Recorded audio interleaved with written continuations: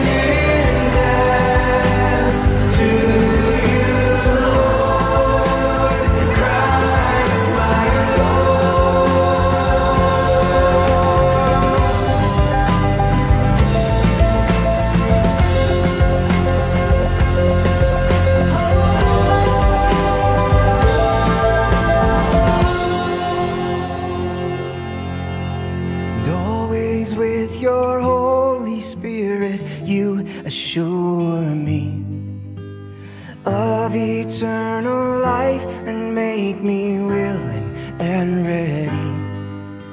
And even when I can't see my way through.